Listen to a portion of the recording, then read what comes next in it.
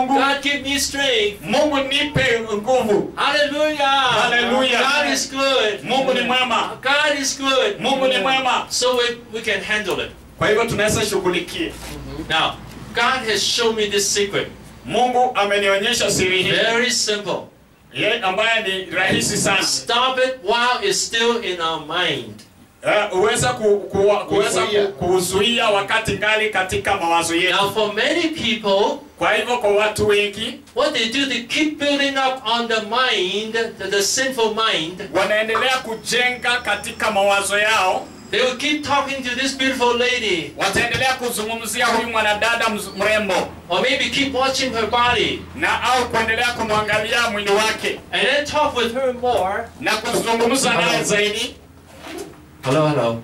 And then maybe even build up a reliance on that person. na hata pia kuweza kujenga ule uhusiano kwa huyo mtu, And finally committed adultery. na mwisho aweze kutenda ile hali ya uzinifu naye. Now, adultery did not happen the first day we see someone.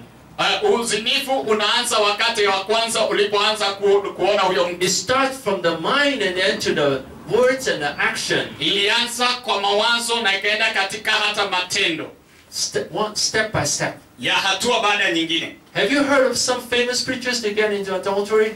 Eh, umewahi kuona mambo kama haya yakiweza kufanyika katika maisha yako? Because they did not stop it when it started in the mind. Kwa sababu hayakuweza kunyamazishwa ama kuzuiwa wa- yakiwa katika They mawazoni. will say, I don't like my wife. Yatasema kwamba simpendi mke wangu, My wife doesn't, you know, my wife nags too much. eh, mke wangu hayuko vile sana, And this lady is very friendly, na huyu mwanamke ni, ni mrafiki sana, very attractive. ya anavutia sana, So he gives himself excuses. ya anajipea vijisababu. But when we see that this is destructive, Na wakati unapojua hili ni jambo la uangamivu, when I get into this sin, wakati napoingia katika hiyo dhambi, it destroy my ministry itaharibu huduma wangu and my life. na maisha yangu.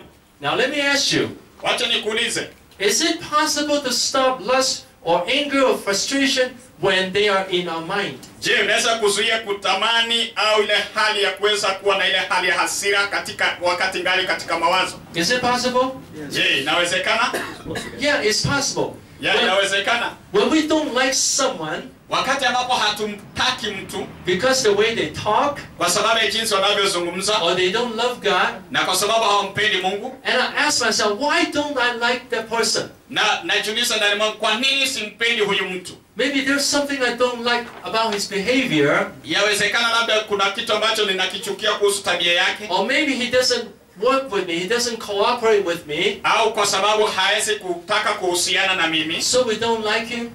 Ndiposa sababu hatumtaki. But then we'll say, we convince ourselves, if I don't like him, it will destroy my life. Na nikianza kusema ni kwamba ikiwa simpendi yeye itaharibu maisha yangu, So I ask God to help me naambia Mungu anisaidie to have compassion on this person, ili kwamba niweze kuwa na ile hali ya uhurumivu kwa huyu mtu, to look at his good things, niangalie mambo yake mazuri, to appreciate him, niweze kumfurahia and to say nice words to na niseme maneno matamu kwake and do something good to him, na nifanye mambo mazuri kwake. So we can change our attitude Kwa hivyo tunaweza badilisha ile hali yetu, and change our action. tubadilishe hata na matendo yetu. this is the secret God has shown me. Hii ndio siri ambayo Mungu amenionyesha. After I realized that sins are destructive, Ninapoelewa kwamba ama ninapofahamu kwamba dhambi zinaharibu, actively change my attitude, ninabadilisha ile mtazamo wangu I find that it's possible to overcome sins. na napata kwamba ni rahisi kuweza kushinda dhambi. But still, I'm not perfect. Bado sijakuwa mkamilifu bado. When we have the sinful thought, we already have sinned. Kwa hivyo tunapokuwa na ile mawazo ya kutenda dhambi, tunakuwa tayari tumetenda dhambi, But I stop it right there na ninapoiz- i- i- ninapoizuia ikiwa ngali katika and ask God to forgive me right there. na naambia Mungu anisamehe pale pale. That's the best I can do in that situation. Kati hiyo ndio hali ambayo naweza kuifanya nzuri wakati huo, And the more we live in the presence of God, oh, na wakati napoishi mbele za Mungu, the less, you know, the sinful thoughts will not come so often. Na ndipo ndivyo hivyo ambavyo kwamba mawazo ambayo ni ya kidhambi hayatanisongea we live in holiness, wakati naishi katika utakatifu lust don't come up that often. ile hali ya kutamani hakutaweza kuja kwangu haraka So we have less and less sinful thoughts. kwa hivyo tutakuwa ile hali ya kupungukiwa katika mawazo ya kidhambi Now, so do you understand this process? kwa hivyo naelewa hali hii Stop any sin in the mind kwa hivyo uzuie dhambi yoyote katika mawazo yako and then live in the presence of God. na kisha ishi katika uwepo wa mungu Appreciate God's goodness. Ah, weza kufurahia uwepo wake mungu Always enjoy God. kwa hivyo wakati wote uweze kumfurahia mungu And then see that our life can bless other people. na uweze kuona maisha yako yanaweza kubariki wengine Then our life will change. The quality will change. na kisha utapata kwamba maisha yako yatabadilika Is it possible? yawezekana It's possible. yawezekana And I thank God for that revelation to me. na nashukuru mungu kwa ajili ya ufunuo huo kwangu It's very simple. ni, ni ile ambayo si ngumu So please remember it kwa hivyo wewe kumbuka and teach other people. na ufundishe wengine And that is God's heart. na huo ni moyo wa mungu Actually, these five steps to victory, kwa hivyo hatua hizi tano katika kuelekea ushindi I got the copyright from God. nilipata hiyo kutoka kwa mungu It's God's way of talking to us. Uh, ni njia moja ya mungu kutuzungumzia Have you noticed when we are about to sin una umewaielewa kwamba wakati ambapo tunaelekea kutenda and the Holy Spirit will say you are about to sin? na unasikia roho wa mungu anakuzungumzia uko karibu kutenda dhambi The Holy Spirit reminds us that this is bad, this is destructive. roho wa mungu anaendelea kukukumbusha hii ni mbaya hii ni kuharibu And the Bible reminds us, the Holy Spirit reminds us what to do. na roho mtakatifu anatufunza yale tuyapasayo kuyatenda And the Holy Spirit reminds us to pray. na roho mtakatifu anatufundisha anatukumbusha kuomba But for many people, after the Holy Spirit reminds them many times, maybe hundreds of times before they uh, obey. na utakuta kwamba kwa watu wengi wanakumbushwa mara kadhaa hata mara mia moja na roho mtakatifu lakini hawatii Many people dislike the spouse for years or decades. Yeah, watu wengine wanadharau wale wachumba wao kwa muda na kwa muda The Holy Spirit reminds them to forgive them, wa, roho mtakatifu anawakumbusha kuwasamehe but they refuse. lakini wanakataa But maybe one day he changed. lakini wakati mmoja atabadilisha And then he says, okay, I'll try to love my husband or wife. lakini atarudi kusema kwamba nitampenda mke wangu au mume wangu So that is choosing to obey. Oh, yes. huyo ni kuweza kuchagua kutii Now, some people wait for years to obey. wakati mwingine watu wengi wanaendelea katika ku, hali ya ku, uh, kutii Can we choose to obey instantly? je tunaweza kuweza kufanya uamuzi wa kutii papo hapo Can we choose to obey instantly? tunaweza kuchagua kutii papo hapo If we believe when we obey, God likes us. ikiwa tunaweza kutii kuwa mungu anatuona And God will bless us. na mungu atatubariki So I choose to obey anytime I notice any sin. wakati wote unapochagua kutii kwamba hii ni dhambi So all this is came from the Holy Spirit teaching me. haya yote yalitoka katika roho mtakatifu ku- kuweza ku, kuona haya Okay, now so this is a five steps to victory. kwa hivyo kama hatua tano za kuweza kufikia ushindi. And there is a simple three steps of victory. pia kuna sehemu tatu ambayo ni rahisi sana ya kufikia ushindi tena. After you know that sins are destructive, baada ya kujua kwamba dhambi zinaharibu and then you know that the biblical teaching what to do, na unapojua kanuni za Biblia, the three steps are first aware, jambo la kwanza ni kuwa kujua. Second is pray, jambo la pili omba. Three is choose to obey. tatu chagua kutii So anytime you notice we have sins, wakati wote unapotambua kwamba kuna dhambi we pray tuombe and we choose to obey. na pia tuweze kuchagua kutii Now let me share some instances how the Holy Spirit taught me. Wacha naweza kushiriki mambo kadhaa ambayo roho alinisaidia I hope we all learn to be very sensitive to the Holy Spirit. na naamini kwamba tunaweza kuwa watu ambao kwamba wanaweza kusikiza roho mtakatifu Okay. Now when we when we I, I was in Hong Kong wakati nilipokuwa kule hong kong and my wife and I, you know, go to places to eat and we drive. Now, mke wangu na mimi tuna, ta, tunaenda sehemu mbalimbali kula And in some places they will say if you if you uh, pay for two hundred dollars, then you get free parking.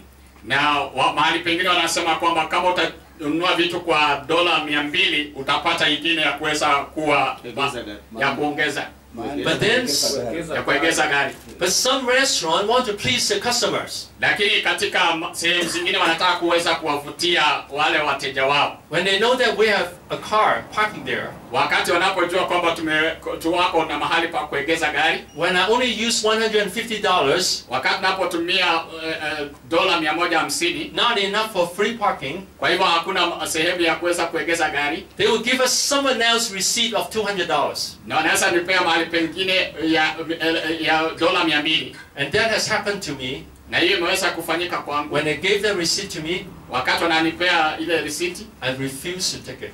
ninaikataa In my heart, I don't want to, this to happen one day. katika moyo wangu sitaki In heaven, katika mbingu God will say, Why did you take the receipt? mbona wewe ulichukua risiti yao That you did not spend $200. haukuweza kutumia dola mia mbili You know, one day everything we've done will be shown in front of the whole world. ya unajua kile ambacho natenda kitaonyeshwa mbele za ulimwengu wote Now, the parking, why do I want to lose my relationship with God, affect my relationship with God because of the parking? kwa nini nataka kuharibu uhusiano wangu na mungu kwa sababu tu ya kuegeza gari mm-hmm. Is it worth it? Mm-hmm. je ni kitu cha maana Is it worth it? No. So think about it say, I don't want to take it. Kwa hivyo napofikiria nasema kwamba sitaki Now, sometimes, you know, I, in this country you have to pay tax too, right? katika nchi hii mnatakana kulipa ushuru ndio Sometimes it's very easy to cheat. wakati mwingine ni haraka sana kudanganya I have some income that I, I don't report, the government doesn't know. eh, sitaki kuweza ku, ku, kuwajibikia kwa serikali kwa sababu haijui And that way, one day God will also stand in front of me. You know, I'll stand in front of God and God will ask me, na kwa hivyo hata siku moja mungu atanisimama mbele yangu na kuniuliza Why did you cheat when you pay tax? kwa nini uliweza kudanganya katika kulipa ushuru Now, many people cheated when they pay tax. watu wengi wanadanganya katika kulipa ushuru Also, many Christians cheated when they pay tithe. hata wakristo wengi wanadanganya wanapolipa fungu la kumi And then they say, in the heart, they say, I cannot trust God to provide for me, katika mioyo anasema kwamba siamini mungu katika kupeana kwa ajili yangu so I cannot pay tithe. kwa hivyo siwezi lipa fungu la kumi Yeah, so when I live my life every day, kwa hivyo ninapoishi maisha yangu siku baada nyingine now here you see a ceiling. hapa unaona ceiling.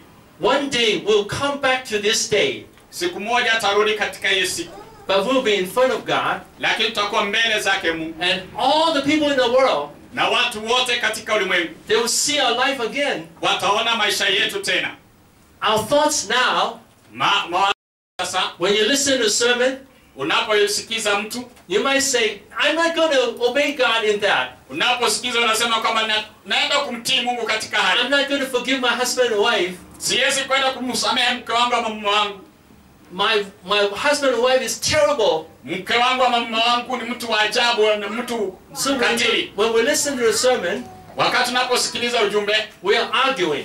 uko katika hali ya kuweza kuwa na ile mazungumzo And God will show us ama one day. mjadala God will show us one day. mungu atatuonyesha siku moja You are not listening to sermon. Mungu wewe na mimi tunaposikiza ujumbe You are arguing with the preacher. una una unakuwa na ile mjadala pamoja na mnenaji wa And in your thoughts, you have this lust and dirty thoughts. na katika mawazo yako umejaza mawazo mabovu All this will become obvious in front of God. haya yote yatakuwa wazi mbele zake mungu Oh yes. So I hope that we'll live a life, life like that. Hello.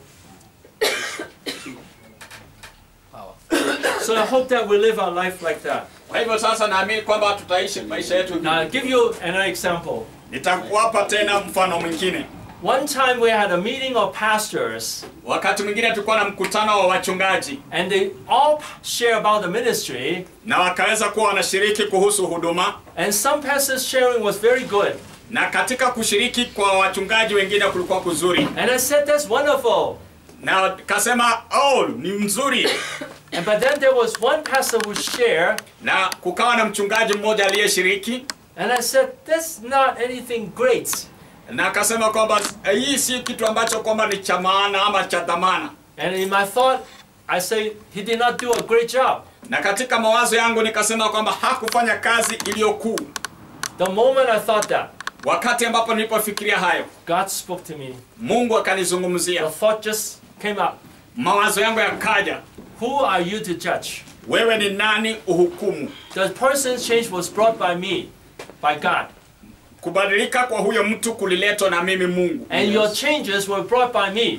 na kubadilika kwako wewe kuliletwa na mimi Who are you to judge another pastor? wewe ni nani uhukumu mchungaji mwenzako And I immediately repented. na katika hali hiyo nikanyenyekea na nikatubu from there on, when I heard anyone sharing about what they've done, na katika hali hiyo popote niliposikiliza mtu akiweza kushiriki no matter how small it was, hata ingawaje alikuwa mdogo vipi I would say in my heart, ningesema katika moyo wangu thank God you have changed him.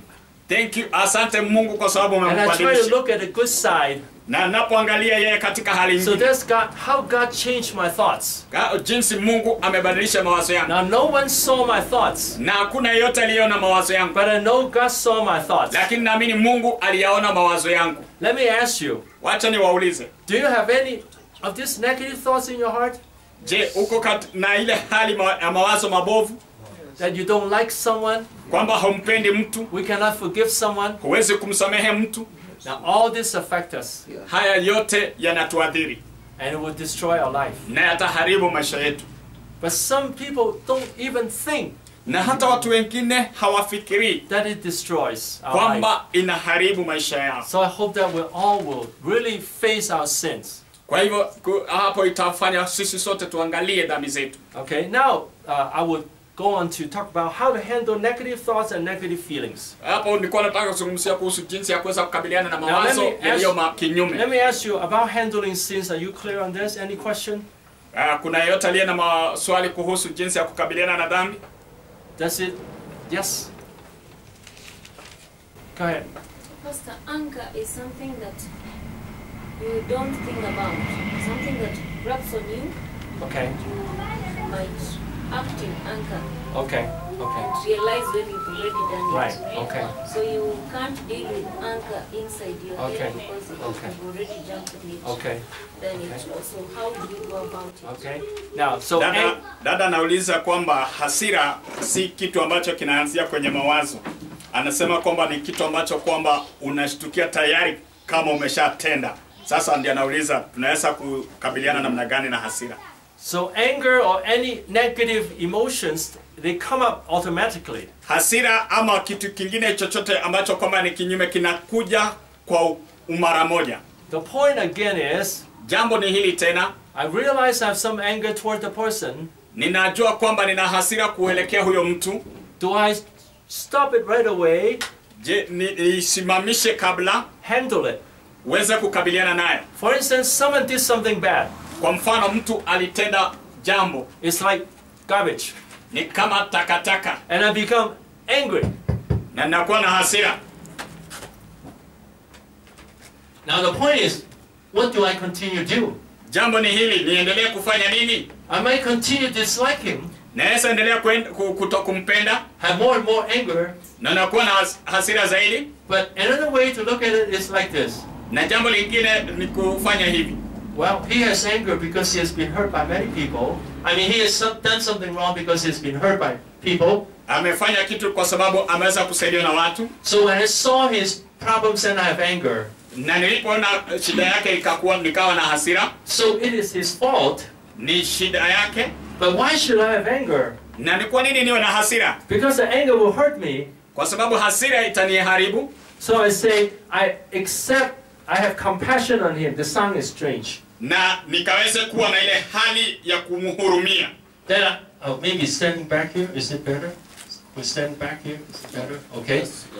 Okay. So we have compassion on this person that he has done something bad kwa hivyo tunakuwa ile hali ya uhurumivu kwamba huyu mtu amefanya kitu because he has weaknesses and sins. kwa sababu ako na ile udhaifu katika dhambi So I accept that. Kwa hivyo na ilikubali I might have anger for, you know, a few seconds, naweza kuwa na ile hasira kwa but I know It's destructive. kwa dakika chache na najua kwamba ni ya kuharibu and then I will handle it. na kisha nitakabiliana nayo And then I would choose to, you know, forgive na kisha nitachagua kusamehe and accept it. na kukubali If I continue to be angry, na nikiendelea kuwa na ile hasira it hurts me. inaniumiza Why should I have anger? mbona niwe na ile hasira Why should I let anger con- uh, control me and destroy my life? kwa nini niruhusu hasira iweze kuniharibu maisha yangu The anger comes up automatically. na inakuja mara moja The point is, do we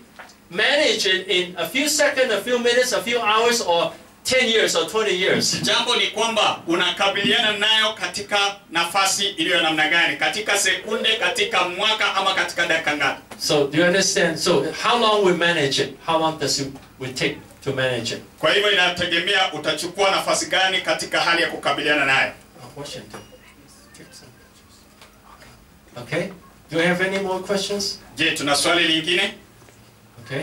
Okay. Now we go to managing negative thinking and emotions. kwa hivyo tunataka kukabiliana na ile hali ya kuwa na mawazo kinyume na hisia kinyume Can the brother sisters sit over here?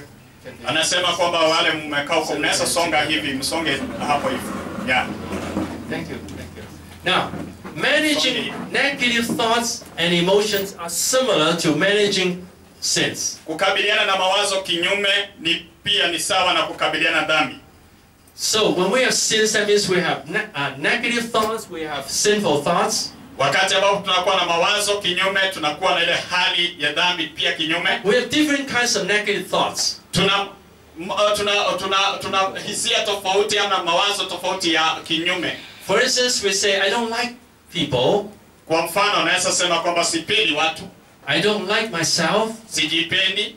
Life is difficult. maisha ni magumu you know, many people have negative thoughts. watu wengi wako na mawazo kinyume hivyo Too hard to obey God. yaani ngumu sana kumtii mungu God is not good. mungu si mzuri God requires too much. mungu anataka sana So all these negative thoughts kwa hivyo haya mawazo yaliyo kinyume will produce negative emotions. yataweza kuleta mawa, ama yataweza kuleta hisia zilizo kinyume pia Because of these negative thoughts, kwa sababu ya mawazo haya ambayo yako kinyume we'll be angry with people. utakuwa na hasira na watu. We might be angry with the pastor of the church.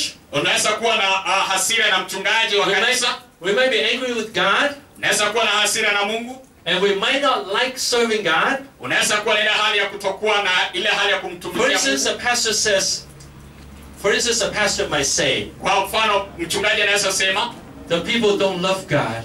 watu hawampendi mungu And my ministry is difficult. ya huduma wangu ni mgumu It's hard work. ya na kazi ngumu No result. hakuna matokeo I don't like it. siipendi Jesus come back soon. yesu rudi haraka So I don't have to work anymore. ili kwamba nisifanye kazi tena Now these are also producing from negative thoughts to negative emotions. haya yote yanatolewa katika ile mawazo mabovu yakienda katika hisia zilizo mbovu So when we, you know, have different negative thoughts, wakati tunakuwa na yale mawazo yaliyo kinyume again we use five steps to victory. na tunatumia zile hatua tano kuelekea ushindi I realize I have negative thoughts toward ministry. nikijua kwamba niko na ile hisia zilizo tofauti katika huduma Imagine a person built up on the foundation of God, serving God, but all the time with despair. mtu anajenga katika kujenga katika hatua za mungu na kisha anajenga katika ile hali ya kuweza kushindwa So all his ministry is mixed with despair. hu- huduma wake umejawa na ile hali ya kushindwa It's like someone give you a cake, ni kama mtu akupatie keki but the cake is mixed with dirt and different bad things. ya na ile keki imechanganywa na takataka nyingi And we offer to God our ministry. na tunapoweza kuchukua huduma zetu tunapeana kwa mungu It's mixed with despair and frustration and anger. imeweza kuchanganya ile hali ya kushishika moyo na hasira Is it pleasing to God? je ina inapendeza mbele za mungu Now, how can we change it? je tunaweza kuibadilisha namna gani Now, first we become aware. Jambo la kwanza ya kupasa uweze kujua Second, I know is destructive. na ujue kwamba ni ya kuangamiza Now, apply biblical principle. na uchukue kanuni za kibibilia Okay, my members don't obey God. ya washirika wangu hawamtii mungu I teach them and they don't obey, ya hawa- hawa- hawamtii mungu and we become unhappy. na inakuwa katika hali ya kutokufurahia Then we'll say, kisha utasema if he doesn't obey God, it's his fault. ikiwa kwamba hamtii Mungu, hiyo ni makosa ni yake. There are some who obey God. Kuna wale ambao wanamtii Mungu. Those are the good soil. Haya, hiyo ni mchanga mzuri, This is the best soil. hiyo ni mchanga ulio mnono ulio ulionona. It is his fault that he did not follow God, Ni shida ni yake, ni kwa sababu hakum, hakumfuata Mungu, but I still care about him and love him. lakini bado ninamjali, nina- nina- ninaweza kuhusika na yeye, I still help him, naendelea kumsaidia, but I don't want to feel negative about him. lakini sitaki kuwa na mawazo ama hisia tofauti kwake. If I feel negative about him, Nikiwa na hisia tofauti kwake, then his sins passes on to me. kwa hivyo dhambi zake zitanijia mimi. He is weak. Yeye ni mdhaifu, What I need to do is just keep helping him. Kile nachokistahili kukifanya ni kuendelea kusaidia. but we remind ourselves with this Bible verse. na tunatakana kujikumbusha na kipengele hiki cha Biblia. If I give a cup of cold water to a little one, Nikiweza kumpatia, eh, eh, nikiweza kupeana kikombe cha maji kwa walio wadogo, I will not lose my reward. sitaweza kupoteza tuzo langu. So when I help him, Kwa hivyo ninapomsaidia, I will not lose my reward. kwa hivyo sitaweza kupoteza tuzo langu, But if I have frustration, lakini nikiwa na kule kushushika it moyo, will destroy my ministry. itaharibu huduma wangu. So I pray to God Kwa hivyo ninamuomba Mungu and I choose to not to be affected by him. na kisha ninachukua nafasi ya kutokuathiriwa na yeye. Whenever I think of him, Ninapomwazia, I don't want to dislike him. sitaki kutokumpenda, I want to appreciate his effort. nataka niweze kufurahia na kuweza kumpongeza katika kazi He still tries to come to church. na bado anaendelea kuja katika kanisa, And I want to bless him. na nataka nimbariki. That way I handle my negative thinking. Kwa hivyo ninaendelea kuchukulia ile hali yangu ya ku- kuwaza kinyume, Then when I see him, na kisha ninapomwona I can be smiling. ninampa tabasamu, Then my feelings are good, are positive. na kisha hisia zangu zinakuwa ziko sawa. Now, do you see that negative thinking produce negative feelings? Positive thinking produce positive feelings. Je, unaona kule ku, kutokuwaza kuliko kwema kunaleta hisia zisizo njema, na kule kuwaza kuliko kwema kunaleta kule kuwaza ama kunaleta hisia zilizo njema. So whenever we see anything bad, Kwa hivyo tunapoona chochote kilicho kibaya, when we see anyone bad, tunapomwona mmoja mbaya or when we see we have weaknesses, na au tunaona kwamba tuna udhaifu, we always say this from the Bible. na kisha tunasema kwamba iko katika Biblia. With God, is possible to change gradually. Kwa Mungu yawezekana yote kubadilisha polepole. It doesn't have to change right away. Haiwezi kubadilisha tu papo hapo, And God gave me this thought.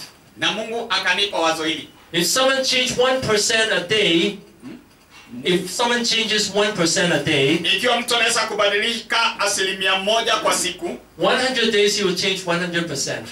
Siku mia moja atabadilika asilimia mia kwa mia. That's a positive way of looking at things. Hiyo right? ndio hali ambayo ni nzuri ya kutazama kitu. If there is something bad, Ikiwa kuna kitu kibaya, what I can do is just change it slowly. ni kuweza kubadilisha tu pole pole. If it doesn't change, it's not my fault. Ikiwa habadiliki, shida si yangu. Now, so to, to manage negative feelings, Kuweza kumaliza ile ile hisia ambazo kwamba ziko kinyume, first we manage the negative thoughts. Ulazima ukabiliana na ile mawazo yaliyo kinyume. To accept that people have problems and sins. Wakubali wale walio na shida na dhambi. I don't have to be affected by them. Sitaki, sitaki waniathiri mimi, And God loves me. na Mungu ananipenda. I can enjoy God. Naweza kumfurahia Mungu, I'm important. Niko wa, dhamana I can bless many people. naweza kuwabariki watu wengi, And every day, many times we say, na kila siku, wakati mwingi tutasema God loves me. Mungu ananipenda, God blesses me. Mungu ananibariki. I can be joyful. Naweza kuwa mtu wa kweli, I can be happy. naweza kuwa na furaha, I can enjoy the love of God. naweza furahia wema wa Mungu. Hallelujah. Hallelujah. And then every day when we wake up, Na kila siku utaamka, we declare, God is loving me. uta, utasema kwamba Mungu ananipenda, God is blessing me. Mungu ananibariki, That way we live in joy. na hivyo utaishi katika hali ya kuweza kufurahia. But I want to say this. Na lakini nataka niseme hivyo, Negative emotions sometimes are hard to manage. Ya hisia ambazo kwamba ni kinyume ni ngumu kuweza kuzikabili. Now, I had this experience a Well- number of times. Niko na jambo hili wakati mwingi, Someone hurts me, mtu ananihuzunisha and then I manage the thinking. na kisha ninakuwa na ile hali ya kukabiliana na mawazo I said it is his fault. na ninasema kwamba ni shida ni yake, I don't have to be affected by him. sitaki aniathiri. I can put it down. naweza kuiweka chini And I change my thought. Na kisha nabadilisha mawazo yangu, nasikia niko sawa. But I noticed when I woke up in the middle of the night, Na wakati napoamka katikati ya usiku, I feel pressure here.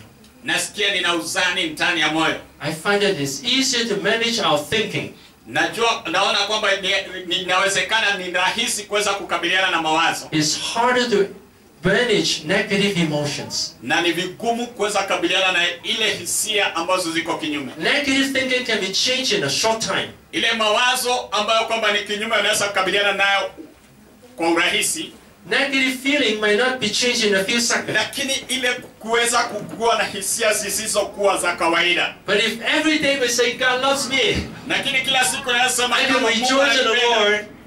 I can rejoice in the Lord. Naweza kufurahia Bwana. And God also has given human a good gift. Na kisha Mungu amempatia mwanadamu kipawa kilicho kizuri. The good gift is laughter. Yeah, kipawa kizuri ni kucheka.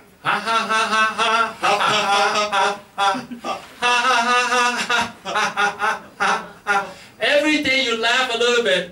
Wakati wote unapocheka, you'll be more happy. Unakuwa na furaha. So every day you look at the good side Wakati wote unapoangalia kuliko uh, sehemu ile ambayo ni nzuri, and rejoice in the Lord unafurahia and worship the Lord, unamwabudu Bwana, we'll have more and more joy. utakuwa na furaha, furaha zaidi, And then gradually your negative emotions will become more positive. na kisha polepole unakuta ile hisia zako zilizo kinyume zinaenda But this is another big topic. We just go over this briefly. Na hii ni, ni ama ni somo ambalo ni kubwa, na itakana twende tu polepole. Now I want to just use three more minutes to describe how does this relate to deliverance. na nataka nitumie kama dakika tatu jinsi ambavyo utaweza inahusiana na ukombozi, To drive out demons. Kuweza kutoa mapepo. Some people think to drive out demons, you just keep saying, in Jesus' name, cast demons come out. Eh, watu wengine wanafikiria tu kwamba kuweza kutoa mapepo tu ni ile tu hali ya kuweza kuimba na kusema mapepo tokeni, mapepo tokeni.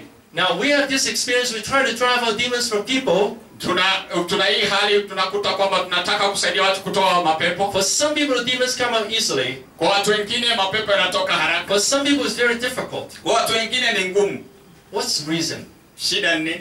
Because the house is not clean. Kwa sababu ile nyumba si safi. That's what the Bible says. Hiyo ndio Biblia inayosema. Now, even though the Bible says the house is cleaned up, ingawaje Biblia inasema kwamba nyumba imeshasafishwa, but it doesn't that Jesus filled up the house. ni si kwamba Yesu amejaza ile nyumba So the demon brought seven more to come in. ya na shetani naye anatafuta wale mapepo wengine saba wanakuja pale, So that is why it's hard to drive out demons from some people. na hiyo ndio inasababisha ugumu ya kuweza kutoa mapepo kwa wengine. So when I drive out demons from people, Wakati ambapo natoa mapepo kwa wengine, I counsel them too.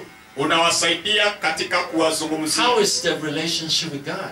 Je, uhusiano wake na Mungu uko vipi? Do they like God? Je, wanampenda Mungu? Do they have positive thoughts about God? Je, wana mawazo sawia na Mungu Or do they dislike God? au wanamchukia Mungu? This need to be managed. Hii lazima iweze kushughulikiwa. And second, Jambo la pili, how do you man- how does he manage people's negative influences? je, anahusika namna gani katika hali ya kukabiliana na ile hali ya kuweza kukabiliana na watu, If he lives in a negative home, au kama anaishi katika mji ambao uko kinyume, people talk to him negatively, watu wanamzungumzia kinyume, and he store up all the anger na anaweka ile hasira yote and eat all the garbage. na anakula takataka zote, He has a lot of frustration inside him. ako na kushushika moyo kwingi ndani mwake, And Satan will hold on to those negative thoughts na anaendelea kushikamana na hayo mawazo and mabovu negative emotions. na ile zile hisia kinyume. So we'll counsel people Unamsaidia katika kumpea to ushauri manage their life,